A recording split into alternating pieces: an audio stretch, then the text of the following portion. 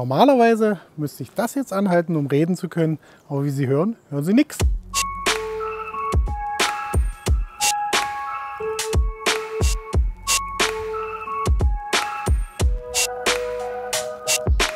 Coole Sache, oder? Ich habe eine neue Narbe bekommen von Tyring. Das ist die S1, also nicht die Shogun, aber die ist auch komplett lautlos. Der Unterschied aber, es ist eine Ratchet-Narbe, also mit solchen Ringen wie die DT Swiss-Narben auch haben. Ich werde das Laufrad jetzt in mein Surly einbauen und dann damit eine Runde fahren. Und währenddessen ich hier so durch den Block fahre, werde ich auch was über die Narbe erzählen, sodass ihr wisst, worum es sich hier dreht. Der kam so flach, da muss ich gerade mal drüber steigen. Naja, ah ich baue das auf jeden Fall hier ein und fahre da mal so eine kleine Runde.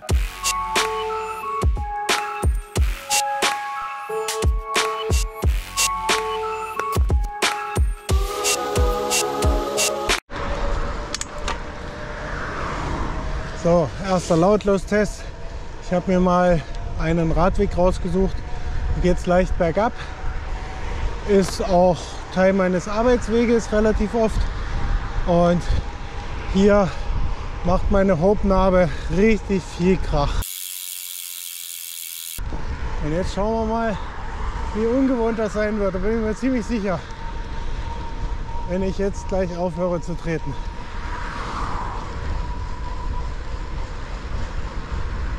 Ja. sehr, sehr komisch. Ich bin das Rad seit 2011 viel, viel gefahren. Ich war, glaube ich, acht Jahre Radkurier, bin es da noch mitgefahren und auch sonst viel zur Arbeit und so. Und es ist sehr ungewohnt. Also wirklich sehr ungewohnt, dass man jetzt hier kein Rattern hört. Also ich bin hier locker 100.000 Kilometer mit dem Rad schon gefahren und man hört nichts außer der Reifen. Das ist schon irgendwie richtig cool. Was nicht so cool ist, ich habe noch irgendwie Corona-Nachwirkungen und kann gar nicht so viel fahren. Ich merke auch jetzt schon, dass mir so ein bisschen die Luft fehlt. Handschuhe habe ich auch nicht mit. Ich fahre wieder nach Hause und erzähle ich von dort was von der Narbe. Ist auch besser, als hier die ganzen Autos zu haben. Aber trotzdem cool. Mensch, man hört nichts. zack, und schon bin ich wieder zurück. Ist doch recht frisch, wenn die Sonne untergeht und Ende Januar ist es doch echt kalt. Und wenn man ein bisschen angeschlagen ist, dann sollte man so einen Quatsch eigentlich auch lassen. Ich fahre noch genug mit dieser Narbe. Ich möchte heute auch gar nicht so lange darüber reden, denn die gibt es erst 2025 ungefähr. bis dahin kann noch viel passieren. Wenn es denn dann soweit ist, dann werde ich auf jeden Fall die Narbe noch mal genauer vorstellen und meine Langzeiterfahrung dazu preisgeben. Was ich aber sagen möchte, ist, naja, doch recht interessant. Es ist auf jeden Fall eine Narbe, die geräuschlos ist. Das haben wir ja schon mitbekommen. Die hat Zahnscheiben, die ineinander greifen. 18 Zähne haben die, so ähnlich wie die von DT Swiss. Was aber hier unterschiedlich ist, die innere Zahnscheibe, die wird durch einen sehr, sehr starken Magneten in der Narbe gehalten und die äußere durch eine Art Federdrehmechanismus wenn man aufhört zu drehen, von der inneren Zahnscheibe weggezogen und dadurch entsteht, entsteht dieses oder äh, fehlt das Geräusch dieses Ratterns. Ja, und das ist eine coole Sache. Und sobald man wieder reintritt in die Narbe, dann dreht sich die äußere Zahnscheibe wieder zur inneren Zahnscheibe und dann hat man eben das Engagement. Das funktioniert sehr, sehr gut, habe ich mir sagen lassen.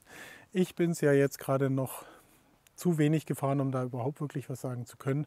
Aber es fühlt sich wirklich an, als würde man eine DC Swiss Narbe fahren, so vom Engagement. Im Vergleich zu der Hope Pro 3, die ich hier an diesem Rad hatte, ist das schon ein Unterschied.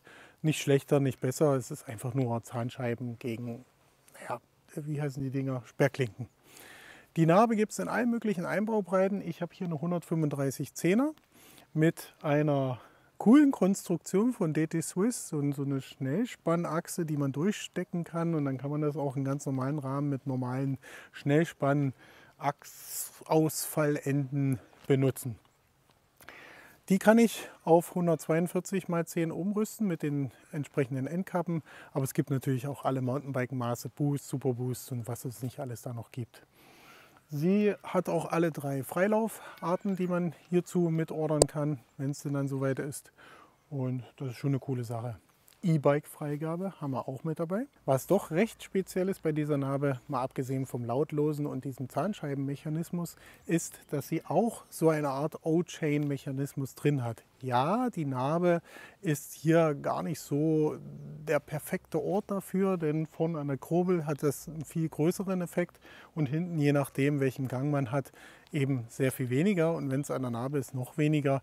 Aber nichtsdestotrotz gibt es hier einen O-Chain-Mechanismus, der hat 14,8 Grad hinten und ich zeige das mal gerade.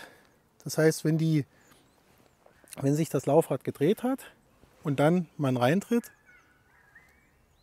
hat man eben diese 14,8 Grad. Und die sind immer vorhanden, sobald die Zahnscheiben wieder auseinandergegangen sind, komplett. Ja, also das hängt nicht davon ab, wie das Laufrad, in welcher Stellung das gerade ist und in welcher Stellung die Zahnscheiben zueinander stehen.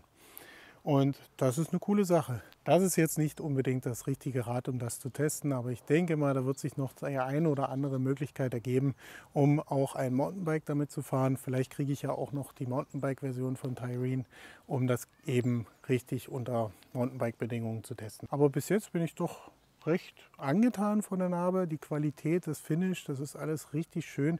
Ich vergleiche die Narbe und die Shogun so ein bisschen wie eine Newman und eine Chris King. Ja, wobei Newman sehr gut funktioniert, Chris King eben auch, aber Chris King ist dann doch was anderes. Ich meine, hier muss ich erst noch bestätigen, dass das wirklich so gut ist, aber so von der Haptik her ist es schon eine feine Sache. Und die Shogun-Narbe, die ist das Workhorse und die funktioniert auch sehr gut, ist aber eben nicht so hochwertig wie eben diese Narbe. Ansonsten habe ich leider noch nicht wirklich viel zu sagen zu dieser Narbe. Ist eher mehr so eine Produktvorstellung. Ich habe es mir gestern eingespeichert, das Laufrad, bin gerade eben einmal um den Block gefahren. Also noch nicht wirklich viel Erfahrung damit. Aber ich habe sie schon auseinandergebaut. Das geht werkzeuglos. Da braucht man nur eine 2-Cent-Münze und dann kann man das, diesen Mechanismus mit den Zahnscheiben rausnehmen. Was auch cool ist, man kann die Zahnscheiben, sollte denn irgendwann mal irgendwas passieren, Unvorhergesehenes, kann man auch DT Swiss Zahnscheiben reinbauen. Dann verhält sich die Narbe wie eine ganz normale DT Swiss Narbe und funktioniert dann eben auch, sodass man den Bikeurlaub, den man dann in Sölden geplant hat, nicht wirklich abbrechen muss, sondern einfach nur weiterfahren kann. Ja? Und das ist eine coole Sache. Und wir werden natürlich sehen, ob sie sich beweist in der Langzeiterfahrung. Das Rad, hatte ich ja schon gesagt, hat locker 100.000 Kilometer weg. Ich hoffe, dass ich bis zum nächsten Video ungefähr 1000 dann nochmal draufgelegt habe, wenn ich dann wieder gesund bin. Ich will jetzt auch mal ein bisschen mehr graveln, aber ja, im Moment geht es eben nicht. Ja, bis dahin werde ich ein bisschen rumspielen, die Trinity an das Rad bauen und dann schauen wir mal, was noch so mein äh, ja, Postfach füllt. Also, dann, ich wünsche euch einen schönen Winter. Fahrt schön Rad, wenn ihr könnt. Wenn nicht, ist auch okay. Geht joggen, esst euch fett. Je dicker, desto schneller den Berg runter oder irgendwie so. Naja, bis dahin. Ciao.